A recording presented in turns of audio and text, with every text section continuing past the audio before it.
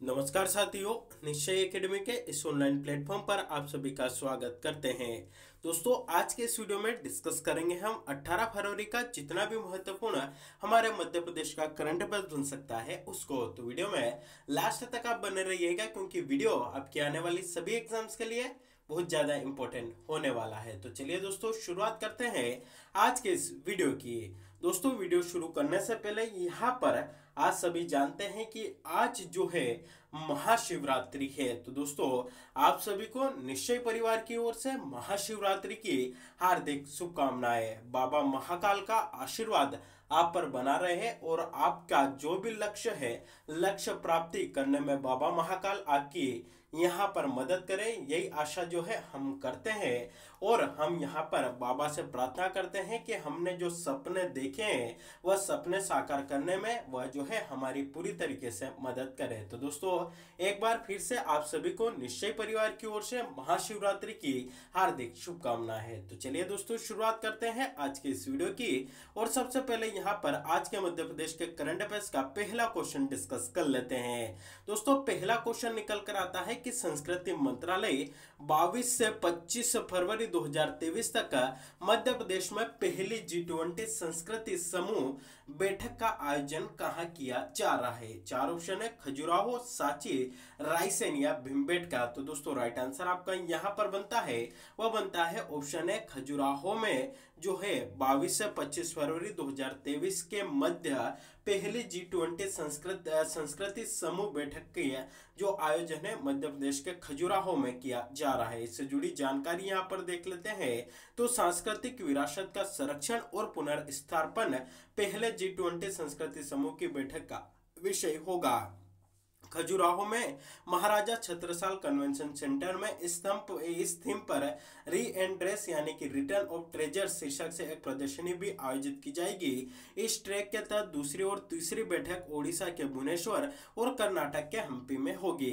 तो पहली संस्कृति समूह की बैठक का आयोजन कहाँ हो रहा है? मध्य प्रदेश के खजुराहो में। दूसरी बैठक कहाँ होगी? ओडिशा के भुवनेश्वर में। और तीसरी कहा होगी? तो कर्नाटक के हम्पी में। दोस्तों, इसका आयोजन किया जाएगा। तो क्वेश्चन अपने आप में बहुत ज़्यादा इंपॉर्टेंट यहाँ पर बनता है। साथ ही दोस्तों, तीन और ऑप्शन है यहाँ पर आपको दिख रहे होंगे, जिसमें है खजुराहो, साची, रायसेन और भिम्बेट का। तो दोस्तों, साची की बात करें तो इसको जो है यूनेस्को की जो विश्व धरोहर सूची है, उसमें कब शामिल किया जाता है? तो दोस्तों, इसको 1989 में शामिल किया जाता है और भीमबेटका को वर्ष 2003 में शामिल किया जाता है। और अगर खजुराहो की बात करें तो यूनेस्को यूनेस्को की धरोहर स्थलों की सूची में इसको 1986 में आपका शामिल किया जाता है।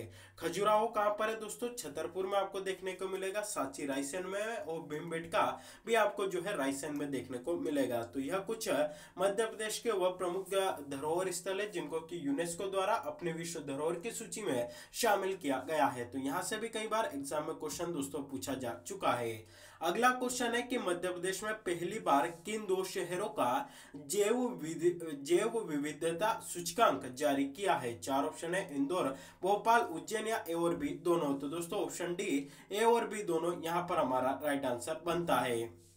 इससे जुड़ी कुछ महत्वपूर्ण जानकारी देख लेते हैं। मध्य प्रदेश राज्य जैव विविधता बोर्ड ने बुधवार को भोपाल और इंदौर का शहरी जैव विविधता सूचकांक सिटी बायोडाइवर्सिटी इंडेक्स जारी किया है। स्थानीय जैव विविधता इकोसिस्टम सर्विस और नगरीय निकाय गवर्नेंस को प्राथमिकता देते हुए तेविक संकेतों पर कराए गए सर्वेक्षण में बहत्तर में से चौवालीस अंक भोपाल और पैंतीस इंदौर शहर को मिले सिंगापुर सूचकांक को आधार बनाकर बनाई गाइडलाइन पर किए गए इस सर्वेक्षण में वन्यजीव संस्थान देहरादून और आईसीएलएआई साउथ एशिया ने सहयोग किया है। तो यह इंपॉर्टेंट बनता है कि मध्य प्रदेश के किन दो शहरों का पहली बार जैव विविधता सूचकांक जारी किया गया तो मध्य प्रदेश के इंदौर और भोपाल, इन दोनों शहरों का पहली बार जैव विविधता सूचकांक city city bio, biodiversity index दोस्तों जारी हुआ है। तो अपने आप में इंपॉर्टेंट यहाँ पर बनता है। साथ ही दोस्तों, इंदौर और भोपाल इन दोनों की बात करें तो यहाँ पर आपका पुलिस कमिश्नरी सिस्टम जो है आपका लागू कर दिया गया है। तो यह भी इंपोर्टेंट बनता है, मध्य प्रदेश के वह दो शहर है जहाँ पर क्या आपका पुलिस कमिश्नरी सिस्टम लागू कर दिया गया है। साथ ही भोपाल की बात करें तो दोस्तों मध्य प्रदेश की राजधानी है, उन्नीस में इसको राजधानी बनाते हैं, उन्नीस में भोपाल को एक जिला आपका बनाया जाता है। इसको झीलों की नगरी के नाम से भी दोस्तों इसको जाना जाता है और मध्य प्रदेश का सर्वाधिक जनसंख्या घनत्व तो आपका कहाँ पर है? तो दोस्तों भोपाल में है और कितना है? तो आठ सौ पचपन प्रति वर्ग किलो प्रति व्यक्ति प्रति वर्ग किलोमीटर जो है आपका यहाँ पर यह घनत्व है। तो यह अपने आप में यहाँ पर इंपोर्टेंट बनता है। चलिए, अगला क्वेश्चन यहाँ पर डिस्कस करते हैं कि किस शहर की गोरी चीते को Madhya Pradesh senior badminton ranking खिताब दिया गया। तो दोस्तों मध्य प्रदेश के इंदौर ज़िले की गोरी चीते को Madhya Pradesh senior badminton ranking खिताब आपका दिया गया है। तो इंपोर्टेंट क्वेश्चन दोस्तों, यह अपने आप में यहाँ पर बन जाता है। तो इनको बैडमिंटन रैंकिंग खिताब जो है आपका दिया गया। इन्हीं के साथ इंदौर की मिहिका भार्गव और प्रणिका होलकर ने भी बेहतर खेल का प्रदर्शन आपका दिखाया था। तो इम्पोर्टेंट हमारे लिए बनता है नाम गोरी चित्ते। का, किस, गोरी चित्ते किससे बिलोंग करती है? तो दोस्तों, बैडमिंटन की यह आपकी खिलाड़ी है और मध्य प्रदेश के इंदौर से ही आपके बिलोंग करते हैं। तो इम्पोर्टेंट क्वेश्चन अपने आप में बनता है, इंदौर की बात आई है तो दोस्तों, स्वच्छता में लगातार छठवीं बार नंबर वन पर आया है। वाटर प्लस देश का पहला ऐसा शहर जिसे की वाटर प्लस प्लस आपका यहाँ पर घोषित किया गया है। साथ ही दोस्तों, इंदौर की बात करें तो आईआईटी और आईआईएम दोनों जो है आपका यहीं पर स्थित है, देवी अहिल्या विश्वविद्यालय। दोस्तों, आपको यहीं पर देखने को मिलेगा। साथ ही महू जो है आपका यहीं पर स्थित है, जिसका नाम बदलकर अंबेडकर नगर भी दोस्तों आपका कर दिया गया था। साथ ही दोस्तों जानापाऊ पहाड़ी आपकी इंदौर में है, जहाँ से चंबल नदी का आपका उद्गम होता है। काकड़ी बडरी भी इंदौर में है, जहाँ से दोस्तों आपका शिप्रा नदी का उद्गम होता है। साथ ही इंदौर आपका एक जिला है, साथ ही एक संभाग है और एक तहसील भी है तो अगर आपसे पूछा जाए कि सर्वाधिक जनसंख्या वाला जिला, सर्वाधिक जनसंख्या वाला संभाग या सर्वाधिक जनसंख्या वाली तहसील कौन सी है तो तीनों में दोस्तों, नाम जो है आपका किसका आएगा? तो यहाँ पर जो है इंदौर का नाम आएगा। तो यह भी हमारे लिए दोस्तों यहाँ पर इंपोर्टेंट बन जाता है। तो यह थी इंदौर से जुड़ी कुछ महत्वपूर्ण जानकारी। चलिए दोस्तों, कल के करंट अफेयर्स का एक बार रिविजन कर लेते हैं। पहला क्वेश्चन था कि किसने रीवा शहर से लगे ईटोरा में बने Madhavrao Scindia cricket stadium stadium का लोकार्पण किया। तो दोस्तों, यह लोकार्पण ज्योतिरादित्य सिंधिया के द्वारा दोस्तों आपका किया गया, जो कि वर्तमान में भारत के नागरिक उड्डयन एवं इस्पात मंत्री है। अपने आप में इंपोर्टेंट क्वेश्चन बनता है। अगला क्वेश्चन है औद्योगिक इंजीनियरिंग एक्सपो 2023 का आयोजन किस शहर में किया जा रहा है? तो दोस्तों, इसका आयोजन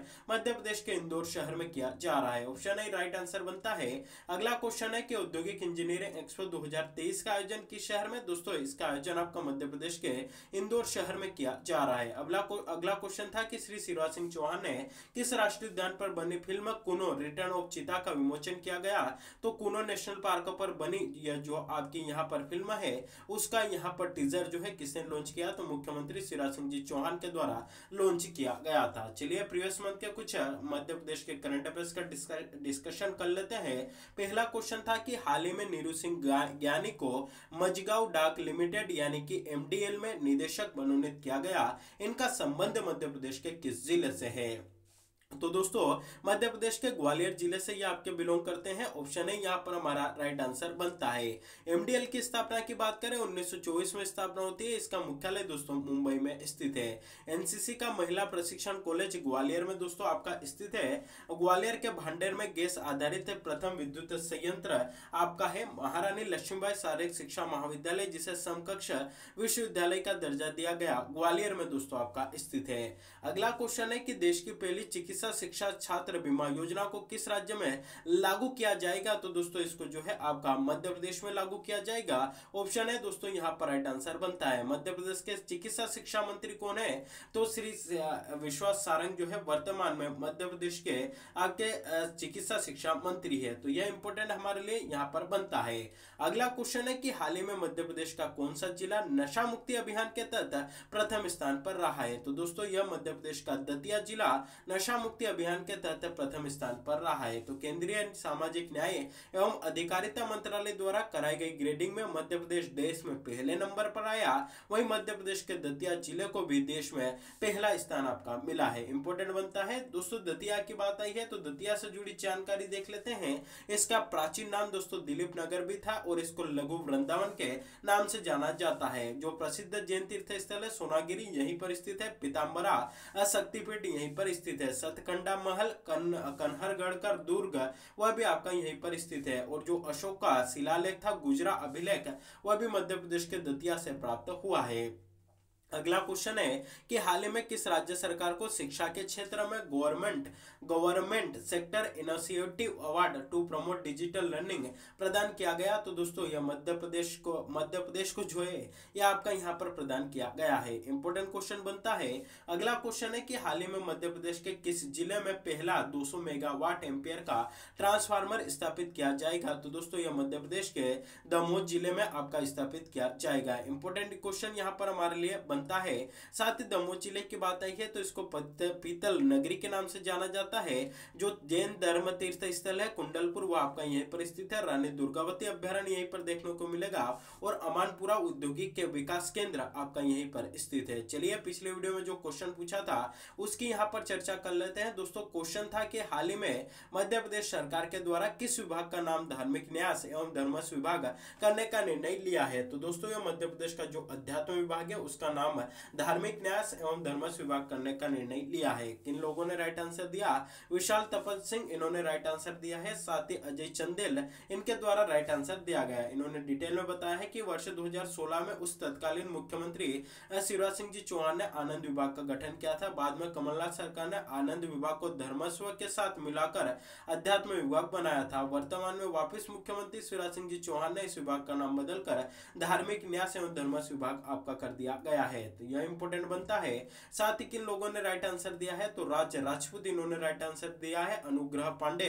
इनके द्वारा राइट आंसर दिया गया धनीराम लोधी, इन्होंने राइट आंसर दिया है नरेश कुमार मेहरा, इन्होंने राइट आंसर दिया है जय ओझा, इन्होंने राइट आंसर दिया है राकेश सेन, इनके द्वारा राइट आंसर दिया गया और घनश्याम पांडे। इनके द्वारा जो है यहाँ पर राइट आंसर दिया गया और सूर्यांशी सूर्यांशी जैन, इन्होंने यहाँ पर राइट आंसर दिया है। तो यह वह लोग थे जिन्होंने पिछले वीडियो में जो क्वेश्चन पूछा, उसका राइट आंसर यहाँ पर दिया है। आज का प्रश्न जिसका जवाब आप सभी को कमेंट करके बताना है कि सचिन तेंदुलकर ने दुनिया का पहला दोहरा शतक मध्य प्रदेश के किस स्टेडियम में लगाया था? चार ऑप्शन है, captain Roop Singh stadium, Nehru stadium, Holkar stadium या ग्वालियर अंतरराष्ट्रीय क्रिकेट स्टेडियम। तो दोस्तों, इसका जो भी राइट आंसर हो, जो भी सही जवाब हो, आप सभी को यहाँ पर हमें कमेंट करके बताना है। तो दोस्तों, यह था हमारे आज के मध्य प्रदेश के करंट अफेयर्स का सेशन वीडियो अच्छा लगा हो तो वीडियो को अधिक से अधिक लोगों तक शेयर करिएगा, वीडियो को लाइक करिएगा और चैनल पर अगर आप पहली बार विज़िट कर रहे हैं तो चैनल को सब्सक्राइब भी ज़रूर करेगा और बेल नोटिफिकेशन को प्रेस करके रखेगा ताकि जब भी वीडियो अपलोड हो, इसकी नोटिफिकेशन आप तक पहुँच सके। साथ ही अगर इसकी पीडीएफ आप चाहते हैं तो उसके लिए आप हमारा टेलीग्राम ग्रुप ज्वाइन कर सकते हैं। उसकी लिंक इस वीडियो के डिस्क्रिप्शन बॉक्स में आपको मिल जाएगी। तो दोस्तों, आज के लिए बस इतना ही। मिलते हैं अगले वीडियो में। तब तक के लिए जय हिंद।